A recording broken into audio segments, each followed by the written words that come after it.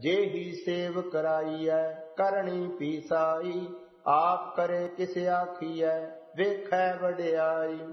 ਗੁਰ ਕੀ ਸੇਵਾ ਸੋ ਕਰੇ, ਜਿਸ ਆਪ ਕਰਾਏ। ਨਾਨਕ ਸਿਰ ਦੇ ਛੂਟੀਐ, ਦਰਗਹ ਪਤ ਪਾਏ। ਆਸਾ ਮਹੱਲਾ ਪਹਿਲਾ, ਰੂੜੋ ਠਾਕੁਰ ਮਾਹਰੋ, ਰੂੜੀ ਗੁਰਬਾਣੀ। ਵੱਡਾ ਭਾਗ ਸਤ ਗੁਰ ਮਿਲੈ, ਪਾਈਐ ਪਦ ਨਿਰਬਾਣੀ।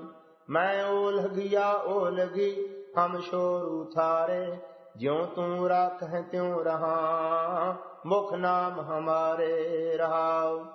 ਦਰਸ਼ਨ ਕੀ ਪਿਆਸਾ ਪ੍ਰਣੀ ਪਾਣੈ ਮਨ ਪਾਈਐ ਮੇਰੇ ਠਾਕੁਰ ਹਾਥ ਵਡਿਆਈਆਂ ਪਾਣੈ ਪਤ ਪਾਈਐ।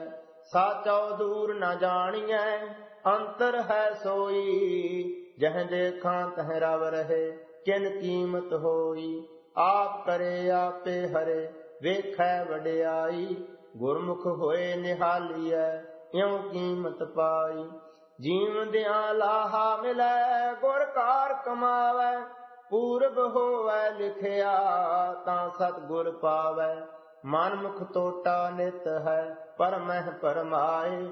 ਮਨ ਮੁਖ ਅੰਧ ਨ ਚੇਤਈ, ਕਿਉ ਦਰਸ਼ਨ ਪਾਏ? ਤਾਂ ਜਗ ਆਇਆ ਜਾਣੀਐ। ਸਾਚੈ ਲਿਵ ਲਾਏ, ਗੁਰ ਭੇਟੇ ਪਾਰਸ ਭਏ, ਜੋਤੀ ਜੋਤ ਮਿਲਾਏ। ਅਹਨਿਸ ਰਹਿ ਨਿਰਾਲਮੋ ਕਾਰ ਤੁਰ ਕੀ ਕਰਨੀ ਨਾਨਕ ਨਾਮ ਸੰਤੋਖੀਆਂ, ਰਾਤੇ ਹਰ ਚਰਣੀ।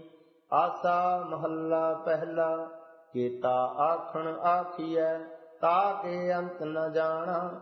ਮੈਂ ਨਿਧਰਿਆ ਧਰ ਏਕ ਤੂੰ, ਮੈਂ ਤਾਣ ਸਤਾਣਾ। ਨਾਨਕ ਕੀ ਅਰਦਾਸ ਹੈ ਸਚ ਨਾਮ ਸੁਹੇਲਾ, ਆਪ ਗਿਆ ਸੋਝੀ ਪਈ, ਗੁਰ ਸ਼ਬਦੀ ਮੇਲਾ ਰਹਾਉ।